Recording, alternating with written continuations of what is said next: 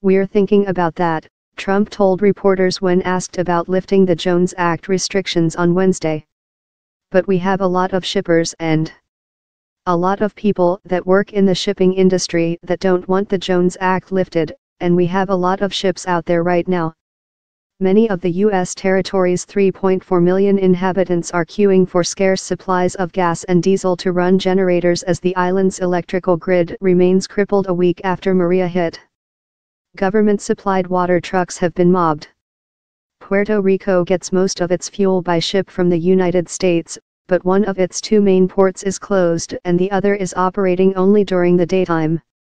We expect them to waive it, the Jones Act, Governor Ricardo Rossello told CNN on Wednesday, noting there was a brief waiver issued after Hurricane Irma, which was much less devastating as it grazed past the island en route for Florida earlier this month.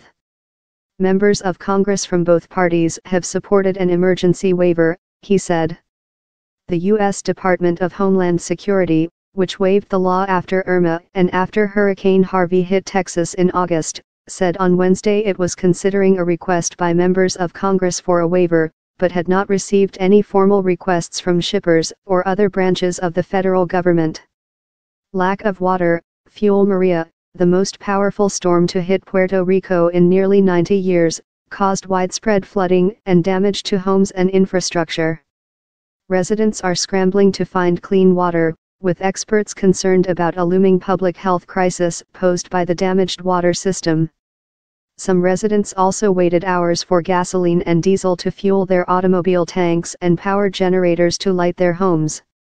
U.S. Air Force Colonel Michael Valle, on hand for relief efforts in San Juan, said he was most concerned about the level of desperation that could arise if fuel distribution did not return to normal within a couple of weeks. In Washington, Republican leaders who control both chambers of Congress have said they are prepared to boost disaster funding, but are waiting for a detailed request from the Trump administration.